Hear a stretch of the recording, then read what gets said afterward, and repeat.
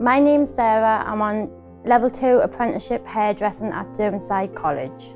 I would like a career in hairdressing because I love doing pin-ups. I love just doing hairs and I've, like I say, I've always wanted to do it and it's a career that I've wanted to go down.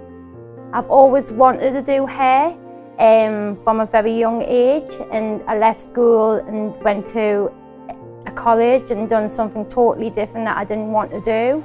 And then I got my first time um, part-time job in retail and I kind of just got into like a, a comfortable bubble where I was comfortable and it was a wage and that.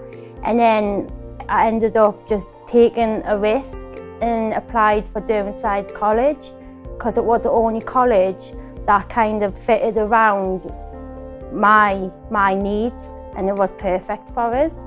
The course is learning me loads of different techniques. On the course I do cutting, I do colouring, I do pin-ups, wash, wash and blow dries.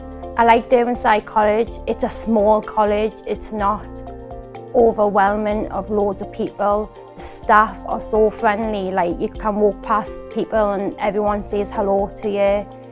I think you should join the course because if you really want to do something, Derwentside College will help you on the right path to do that. This course is a stepping stone for the career of my dreams that I've always wanted to do.